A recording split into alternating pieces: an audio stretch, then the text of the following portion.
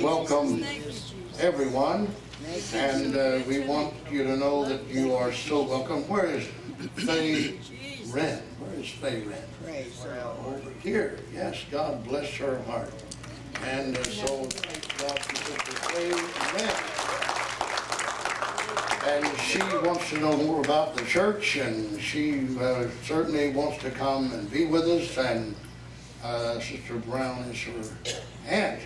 Um, and uh, you have a, did you bring a visitor from Sarasota? All right, this is your aunt? All right, Lulu Brown? All right, welcome here tonight. And we're so glad, glad come. And we're glad to see everybody, uh, the regulars, the saints of God, called to be saints of God of the church in Bradenton that is here holding up, as we say many times, uh, allegorically, uh, the bloodstained banner of Christ. And uh, it is a bloodstained banner because banner is that which is unfurled over us and it is our emblem of victory, it's our flag of victory, and it's the blood of Christ that was spilled on the lonely ground of the isolated hill of Golgotha, uh, literally so that the last of the mortal flesh of his body spilled out, earth meeting earth, and from that moment that the blood that was given him uh, in the uh, womb of Mary left his body, and he was no more man. He was no more the son of man. He ceased to be the son of man the moment the blood spilled out of his side and from his hands, and life was no longer there in his flesh. He offered up his flesh with much supplication and prayer, and uh, when his uh, the blood poured out upon the ground of Golgotha, that ended the brief sojourning of the great uh, work of faith of God and His Son on this earth, trading the corruptible for the incorruptible, uh, redeeming the corruptible with the incorruptible. Uh, all the majesty and all the words of man, all the books written, can never, never, never describe what happened there at Calvary, the cross. Uh, it's sad that the church, and I don't say this incriminating anyone, I'm a student of the Bible, so I make statements based on my knowledge of the scriptures and my study of mankind. I, I, I don't just foolishly make a statement, but it's sad to me that the church uh, does not realize the penalty uh, that was inflicted upon Christ and uh, the uh, work that was done through his obedience. And though he were a son, yet he learned obedience by the things that he suffered. And he would never had to have learned obedience if he had not been man. Man's the only one that has to learn obedience. God doesn't learn obedience. Angels are never disobedient.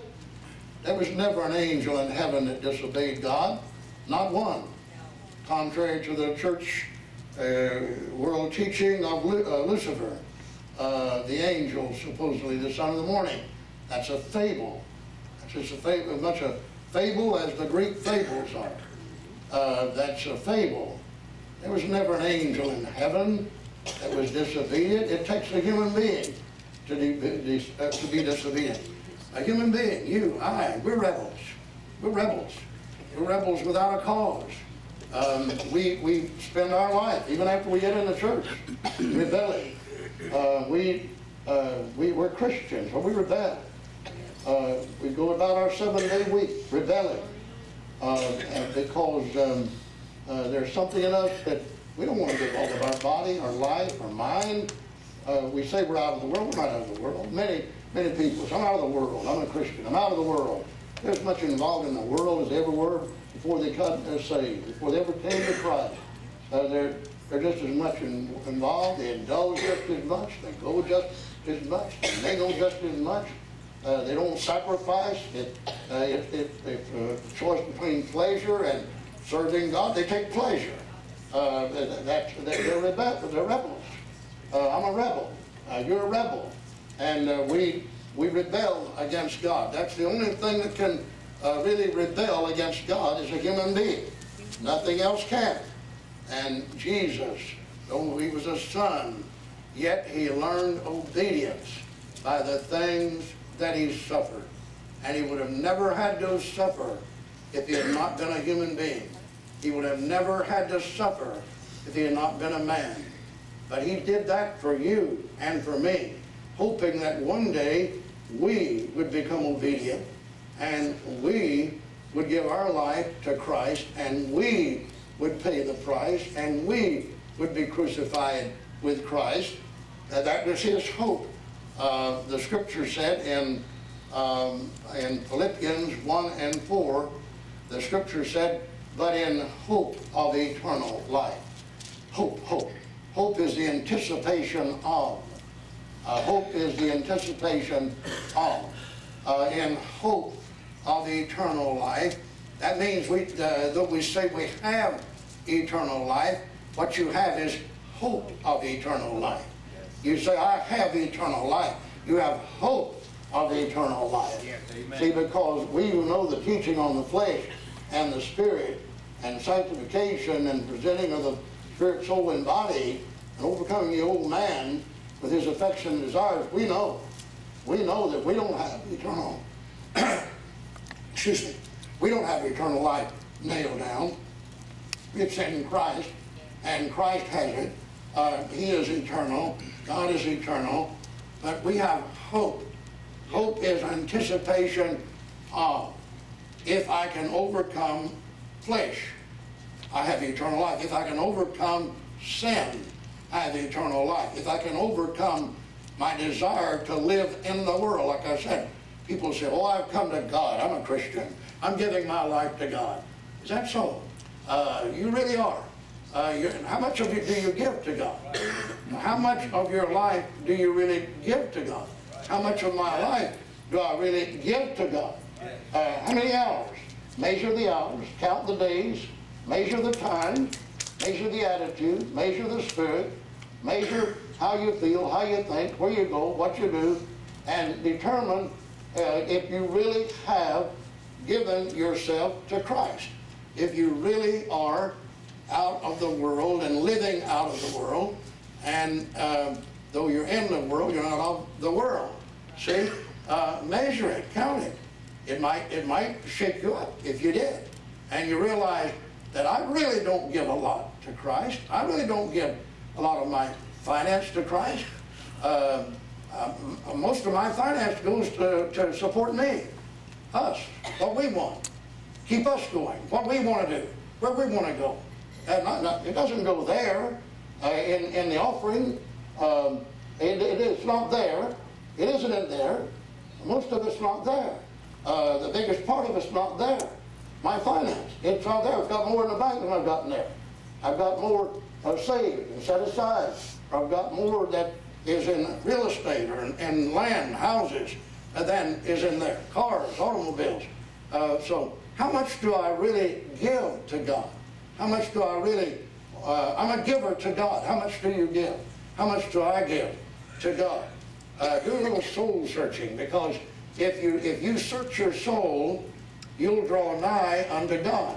If you don't search your soul, you'll never know really what you are and who you are as a child of God. Uh, you'll not understand yourself. Uh, you'll not identify yourself as a child of God, as, as a Christian um, in this world. Uh, you won't know who you are uh, because it's, it's easy to assume the title, I'm a Christian, I'm saved, I'm born again. Uh, are we really born again? Uh, how does a birth affect us? How, uh, a birth is a brand new citizen, isn't it? A child that's born is a brand new citizen. When a child comes forth, it's a brand new person. So if I'm born again, I am a brand new person. I am changed uh, completely. Uh, everything about me uh, inverts itself into Christ. So uh, I want to just talk along, a little bit along this line. I feel some help from God on it. Um, See, because the precious blood of Christ, and I'm living a victorious life. I'm walking a victorious life. Really means something to say that. Really means something to sing that. If, if I'm living a victorious life, most of my time will be at the church. Most of my time will be with God's family. Uh, if, if I'm living a victorious life, most of my time, 90 some percent of my time, will be spent with the church and with Christians. Uh, uh, 90-some percent of my life will be with Christians. Uh, my family will be with me. They'll be there. Uh, and and uh, I'll, I'll spend 90 with some percent, then finally I'll get to be 100%. Finally, there just won't be anything else. There won't be any other activity. Then, then I'll become a fanatic. People will look at me then and say you're fanatical. Or, or you're out of your mind, out of your reasoning. You have to be something besides that. Uh, but uh, when you, when you um, really uh, just uh, delve into uh, living a victorious life, walking a victorious life, uh, being, uh, then, then I'll, I'll spend most of my time. I'll give most of what I have. Uh, my spirit, my body, my soul, my money, my time, my labor, everything I have. It'll just be given uh, to that which represents Christ. Because Christ is my life. Christ is my life. And, and I, I'm living a victorious life. I'm walking a victorious life. And I've had people say, that'll never be on this earth. I've had people make that statement, that'll never be. Well, that's because they don't read the scriptures and they don't understand the scriptures that there is going to be a sanctified, and the word sanctified means set apart. There is going to be a glorious church. And that glorious church is not going to have any spot in it, that is of the world, any wrinkle in it, any blemish in it, but it's going to be uh, of Christ. It's going to be in Christ. And, and, and it will be uh, a separated people. Now let's go to the song, book of the Songs of Solomon. Uh, here in, um, um, and if you'll study with me in your scriptures tonight. And I'm so happy to see all of you. I hope I can leave you with something inspiring you and uh, hope that you'll take my words as being encouraging and, and uh, urging you on. Uh, that's what I want to do. I want to urge you on. I don't want to provoke anybody to anything bad or good, evil. I don't want to provoke anybody to any wrath, or I don't want to provoke anybody to uh, being, um, you know, in any way uh, negative or discouraged. I, I hope I can provoke you to love and to good works as a man of God, uh, as, as a preacher, um, as, a, as a pastor. And um, I, I, I really, I want, I, I really am encouraged about the church. I'm very encouraged about the church. I'm encouraged from the scripture standpoint. I'm not, I'm not looking at the church from what I see with my eyes, because that would not necessarily boost me as much as looking at the church from the scriptures. See, there's two ways you can look at the church. From man's vision, which is your vision and mine, or you can look at it from God's vision, which is the Word of God. And if you look at it through the looking glass of the Word of God, the church takes on a much more encouraging picture. If you look at it from just what you see with your eyes, the church will not be so high, so exalted, so lifted up, or so encouraging. Uh, but if you look at the church through the prism glass of the seven colors rainbow, of the seven spirits of God, of the Word of God, then the church takes on another appearance uh, because um, uh, you see it as, as God sees it. Uh, the, the scripture said, God seeth not as man seeth, for man looketh upon the outward appearance, but God looketh upon the heart. So if I look at the way God looks at the church, I'm encouraged. If I look at it the way man looks at it, I might not be so boosted or so charged up uh, because I'll be looking at negative more than I'll be looking at positive. I'll not see the positive that's in God. I'll not see the positive that's in the church. I won't see the praying widow. I won't see the widow giving the mite, giving her all. I, I, won't, I won't see the uh, little sister, the little brother, the man of God, the elder, or, or whoever's laboring with a gracious, wonderful, godly spirit and godly attitude and godly zeal. I'll see the one uh, through the eyes of man it isn't, and laboring in a negative. Uh, I won't see uh, the person that's giving their all, sacrificing their all. Uh, I mean, they're sweeping, baking, cooking. Uh, they're uh, in, in, in, every activity they can get in to boost the church, to bless the church, feeding the homeless. They're, they're, they're in every activity. They taking foods, those that are just out of the hospital. They're going to see the ones that are crippled. Uh, they, they, they're busy. They're busy in the house of God. Uh, they're writing cards, sending cards on the telephone. They're calling. I see. I, will see. I won't see them. I'll see somebody that's angry, upset, mad, growling, grouchy. Uh, I'll see somebody that's got a grudge. I'll see somebody that's, uh, you know, doesn't, doesn't want anything to be pleasant, nothing to be good. Uh, everything's bad. I'll, I'll, just look at them. I'll never see the, the, that which God sees. I, because I'm looking at it through the eyes of men. And, and, and that's why Christ could look from the cross downward uh, with a spirit different than any man could ever look up at the cross and see Jesus. I'll, I'll give you an example. They looked up at the cross and saw him, and they said, Ah, you be the Son of God, come down. And we'll believe you then. That's the way they looked at him from the ground up to the cross. Uh, you know, oh physician, heal thyself. Heal thyself. You healed others. Heal yourself. See, that's the way man, that's the way man looks. He looks at, uh, a man is, is cross-eyed concerning God. He doesn't, he doesn't see as God sees. Uh, uh, he sees everything in a negative fashion.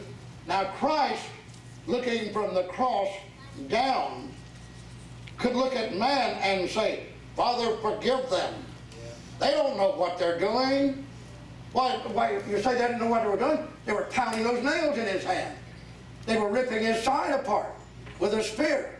You mean man didn't know what he was doing? No, Jesus said, forgive them. Because they don't know what they're doing. And the thief on one side railed and said, why, why save, uh, save us if you can do anything. Now's the time to save us. And, and I'll, I'll believe then, but here was a, Jesus didn't look at him. He looked over on the other side and he saw the other thief and the other thief cried out and said, Remember me when thou comest into thy kingdom. And Jesus looked at him with the eyes that did not see as man sees, and he didn't see the sin. He didn't see the sin of that man. He said, Today shalt thou be with me in paradise. Praise the name of the Lord. Why, right then and there, Jesus looked at, why, why could Jesus look from the cross down differently than man looked from the ground up? Because uh, God seeth not as man seeth. So I'm training myself. I'm adapting myself. Because I expect to be in a few days from now, expect to be in, in Jerusalem, somewhere over in Jerusalem, um, and, and I'm going to be uh, uh, ruling and reigning over uh, uh one of those nations over there in the Middle East. Uh, see, uh, my, my vision is, so I want to train myself to be a better king than the king of Saudi Arabia. I, I want to be a, a better king, a priest before those people, because I'm going to be reigning with Christ. Well, what in the world are you talking about? See, you don't, do you know the Bible? You don't know the Bible? Yeah, you don't understand the scriptures? You think you're always going to be here eating beans and bacon in Florida? You think you're always going to be here driving up to your driveway at your house and, and get out of your car and go in the house, and put something on? No, you don't. You, you don't. If, if you think that, you don't know the scriptures. Just a few days from now, and there's going to be just a moment, just a moment, as it were, there's going to be a royal king reigning in Jerusalem. Praise the name of the Lord. There's going to be a great white throne judgment of 1,000 years. There, there's going to be 144,000. According to the Revelation, the 14th chapter, 144,000 pure, not defiled with adulterous religion, churches, women, uh, having the seal of the Father, the knowledge of overcoming in their forehead, uh, playing upon their hearts, the Holy Ghost in them, their heart, singing hallelujah to the Lamb, hallelujah to the Lamb, praise the name of the Lord. And they're going to be living and reigning. Oh, not me. I'm going to be back here trying to cut my grass, keep my grass mowed in my yard. You'll be left behind, friend. Uh, if you're gonna, if that's all you see is pushing a lawnmower for the next few years, and, and you're, you're interested in, in keeping your house and your garden and, and, and all you've got, and the church is last, it's, it's near last, if it's not last, it's last. Uh, uh, you know, your, your batting average as far as the church is concerned is maybe if you were a hitter, uh, you might be hitting a 102 or, or 150 or something like that. Uh, but you're not a 300 hitter and you're not a 400 hitter as far as your percentage of, of, see, because if that's what you see, see, I'm talking about vision. Are we are we the ordinary church? No. Are we a different church? Yes. Do we? I don't hear much. Praise the name of the Lord. I, I, I don't hear much. I don't hear much around me. Uh, are, are, we are we a different church? Yes. Are, are, are, we the same churches down the street? No. If we are, let's close this place up and go down there. They, they've got a few members, we got a few members. Let's put them together and have more members. Yeah. You know, if we're the same church as down at the end of the street and they're the same church as we are, they're not filling their sanctuary and we're not filling ours. So why don't we just get together and all be together and be, be you know, be one, one, one body of people? If we're the same church, if we have the same vision, if we don't see deeper in the scriptures, if God hasn't given us revelation, Right. I, I, then why are we here? What, what are we doing here? If, if, if our vision is that we're going to go on having church like we are right now, and there's no mindset change, and there's no mood change, and there's no attitude change, and nothing is changed, oh my, my I'm, I'm, I'm, I'm really seeing a lot. Uh, and, and, but it's the same thing uh, then, then what are we doing here, folks of God, children of God? I, I personally think want to amalgamate, confederate, and, and get together uh, uh, with the rest of the crowd that have the vision of just, uh, you know, living on this earth and dying. And, and then saying, Lord, uh, then you do with me what you will. But see, I believe that God sees not as man sees because man looks on the outward appearance. Jesus looked down from the cross differently than man looked up to the cross. Amen. Praise the name of the Lord. Because Jesus did not see as man sees. Amen. I've got news for you. I don't have to see like man sees either. Because I have the Holy Ghost in me. I have the cross in me. I am in the blood of the cross. I'm at the foot of the cross. I have been revealed, uh, God has revealed to me revelation that He's going to have a glorious, glorious church.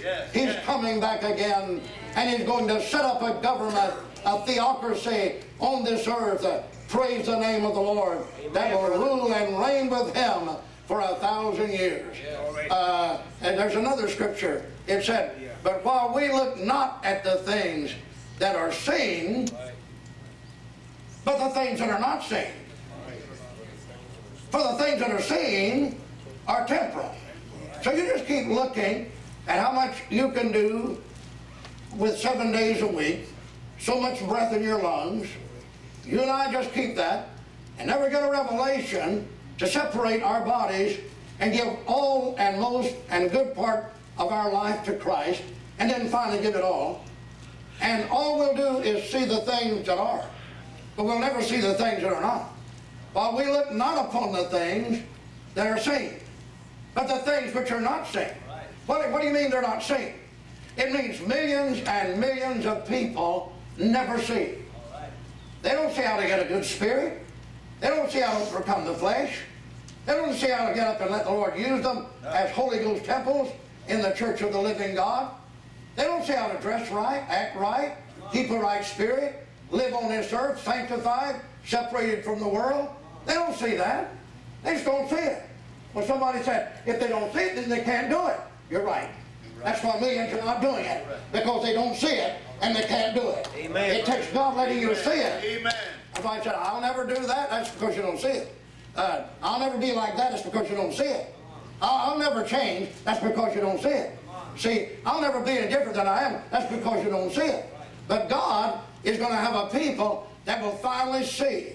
Their eyes will be opened, and God will give them revelation that He's coming back again for a glorious church. Praise the name of the Lord. Praise the name of the Lord. Praise the name of the Lord. Praise the name of the Lord. Praise the name of the Lord. Hallelujah. Hallelujah. Praise the name of the Lord. Praise the name of the Lord. They're going to get a revelation, and that revelation is going to wake them up wake them up. wake them up, change them from the negative to the positive, change them to obedience. You know, some people, they don't even, they, they, they can't even have an obedient spirit. You know that? They say, oh, God, they had a Christ, Christ had a man, man had a woman. That means, I tell you what that means, I got a revelation on that. Uh, but you have revelation, but you may not see it. Uh, uh, uh, God is the head of Christ, then Christ is the head of the ministry, and ministry is the head of the church. Uh, a good percentage of the people of God are not subject to a pastor. They're not subject to a minister. You know when they, they're subject to it? It's when they need something. When they get in trouble. When they get a problem. Uh, when they get some uh, things they can't handle. Them, uh, they're so obedient. Why, they would jump through a hoop and run over a wall. Uh, because they're so obedient. Uh, because uh, they need something. They, they- need something. But they're, they're not obedient otherwise. They don't wonder if, if, is that is that right according to the teaching of my pastor? Does my pastor teach that? Does he does he sanction that? Is, is well, if he's the head over the woman, uh, I don't have to talk to him. I don't have to ask him. I'll just go do what I want to do. I'll do it when I, if it's Saturday night. I'll go do what I want to do. Uh, he can be in church. He can be laboring and upholding the church. He can be trying to get the church to come to perfection working on the church. But I got other plans. So I'm going, I'm going to do what I want to do, and I'll, I'll, never even talk to him. I'll never even uh, say anything to him because I'm going to do what I want to do because that rebel nature is there.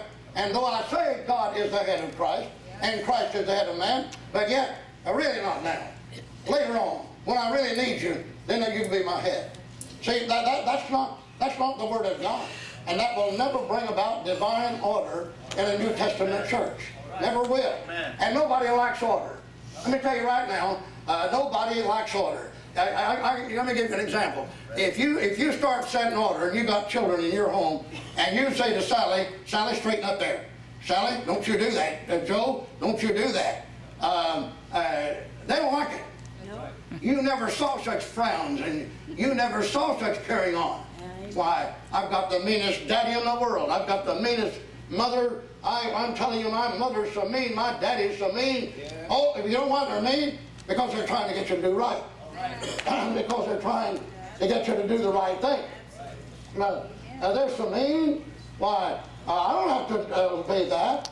See, because there's a, there's a rebel nature that's in us and, and that we, we have that rebel nature, and that rebel nature is what Christ encountered up until the very, excuse me just a moment. Praise the Lord. Praise your name, Lord. Up until the last moment that he spilled his blood out. When he spilled his blood out, the rebel nature was gone. Oh, I have a pastor. Do you really have a pastor? Is he really over you in the Lord? Do you really consider him? Do you really pray for him? Do you ever really uh, re- recognize the burden he's under? Uh, when when when when uh, the strain, the labor, seven days a week, five services a week, um, the strain of that right there. Who, who keeps this place going? Uh, who really uh, sets their tithing aside?